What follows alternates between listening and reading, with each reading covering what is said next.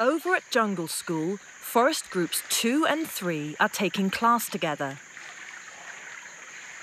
Today's challenge is to master the two-stage process of opening a coconut. First, husking. Then, nut cracking to access the sweet milk and the meat. Four-year-old Yoko is a Group 3 student, and he's got this down.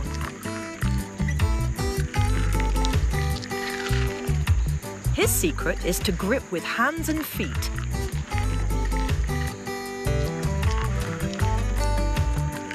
Yoko's skill attracts a spectator.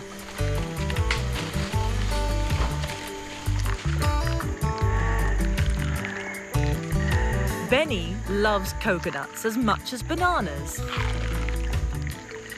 But he usually relies on his babysitter to open them.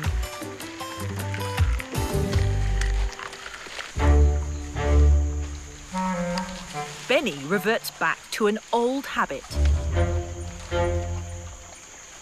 He's not really a bully, just a very hungry food thief.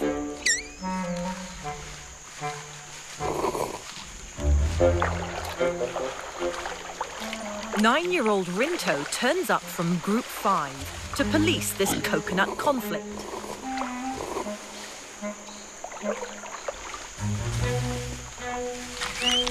Rinto decides Beni should have no coconut at all.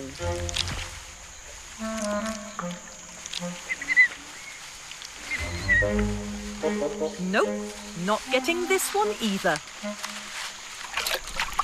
Poor Beni. All he's left with is a pile of sodden greens.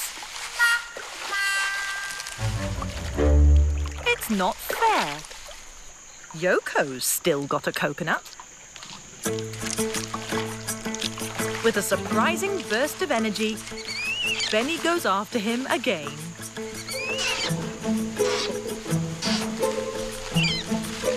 The commotion attracts the attention of another older female, Reren. Who comes in with the heavy artillery. She wastes no time in punishing Beni. Things are getting out of hand.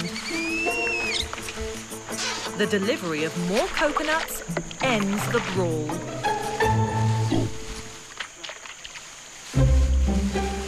Beni's left with just an empty husk and his low social status. He's not impressed.